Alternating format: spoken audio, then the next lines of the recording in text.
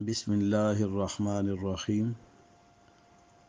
قد جاءکم من اللہ نور و کتاب مبین.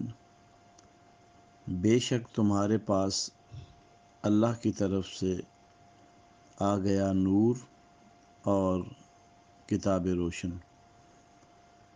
فقی ابو اللیث سمرکندی رضی اللہ تعالیٰ عنہ فرماتے ہیں یہاں نور سے مراد وہ محمد صلی اللہ علیہ وسلم والقرآن، کہ نور سے مراد حضور علیہ السلاۃ والسلام کی ذات ہے اور قرآن کتاب سے مراد قرآن مجید ہے۔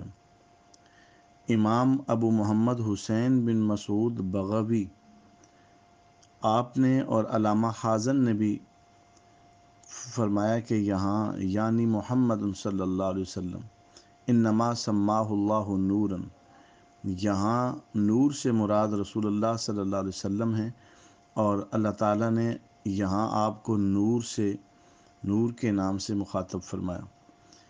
اور آگے فرماتے ہیں کہ یہاں نور اس لیے پکارا نور کہہ کر کہ حضور علیہ السلاۃ والسلام نے انسانیت کو ظلمتوں سے نکالا اور ہدایت کے روشن راستے پر گامزن کیا۔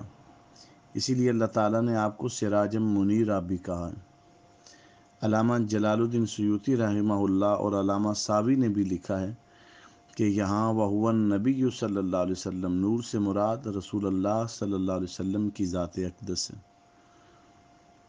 امام فخر الدین راضی نے بھی اس سے حضور علیہ السلاۃ والسلام کی ذات کو مراد لیا ہے۔ علامہ سید محمود آلوسی بغدادی رحمۃ اللہ علیہ آپ فرماتے ہیں یہاں نور سے مراد وہ نور الانوار و نبی المختار صلی اللہ علیہ وسلم۔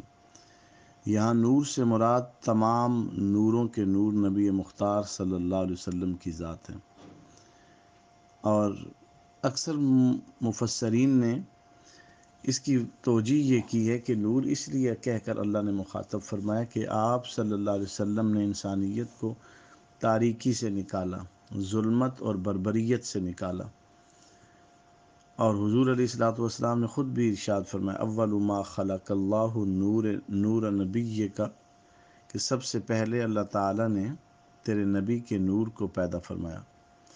یہ سوال جناب جابر رضی اللہ تعالیٰ نے حضور سے کیا، تو اللہ کے نبی صلی اللہ علیہ وسلم نے انہیں اس کا جواب ارشاد فرمایا۔ حکیم الامت، انہی آیات اور حدیث پاک کی روشنی میں فرماتے ہیں، نگاہ عشق و مستی میں وہی اول، وہی آخر، وہی قرآن، وہی فرقان، وہی یاسی، وہی تاہا جزاک اللہ۔